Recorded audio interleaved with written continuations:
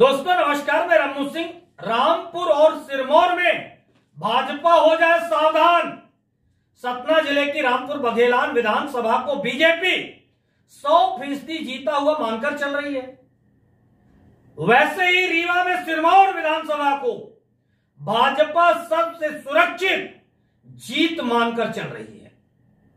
मगर मुझे ऐसा प्रतीत हो रहा है कि कांग्रेस कुछ ऐसे राजनीतिक खेल खेलने में लगी हुई है, जिससे बीजेपी की बाजी पलट सकती है।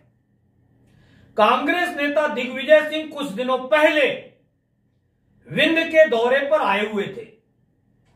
सतना ज़िले में वह सिर्फ़ रामपुर बघेलान विधानसभा ही गए और वहाँ भाजपा के बड़े नेता व पूर्व विधायक प्रभाकर सिंह से मिले और चले गए। अब उनका दूसरी बार विंध्य क्षेत्र में आना हुआ है।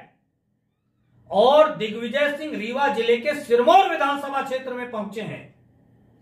कांग्रेस, खासकर दिग्विजय सिंह का दौरा होना, यह तो दर्शाता है कांग्रेस किसी बड़े खेल की जाल बिछाने में लगी हुई है।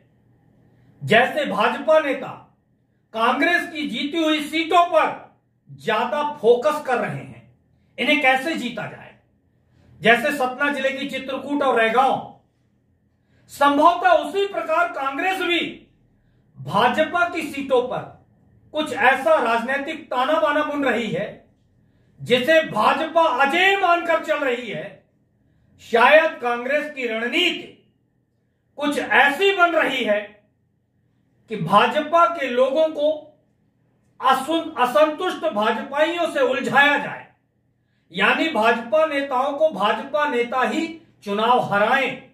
ऐसे में कांग्रेस की जीत आसान हो सकती है। इस पर आपके क्या विचार हैं? कमेंट्स बॉक्स पर लिखकर बताएँ। धन्यवाद दोस्तों।